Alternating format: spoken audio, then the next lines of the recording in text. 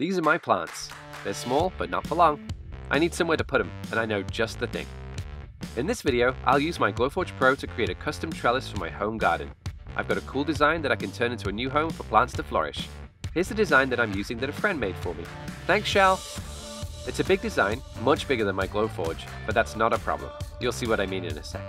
I start by uploading the design to the Glowforge app, and we're ready to print.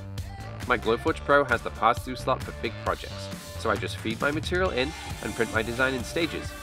Check out those sharp lines and smooth corners. The laser in my Glowforge Pro is powerful enough to cut everything in one pass, and I'm using a solid piece of plywood here, so that's pretty impressive. Alright, time for the next section.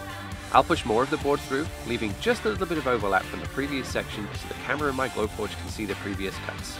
And it automatically lined everything up. Awesome. Press the button and away we go. My Glowforge picked up right where it left off. I have to do this a couple more times, it's a big project, so let's fast forward. That's the last section done, let's see how we did. Wow, check out that print. You can't even tell where the different sections are. It's all one seamless print. I'd love to take credit for how well this came out, but my Glowforge Pro did all the hard work.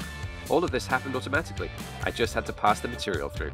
I'm not done yet though. Here's the design for an easy planter box that snaps onto my trellis. Drag and drop, and I'm back in action.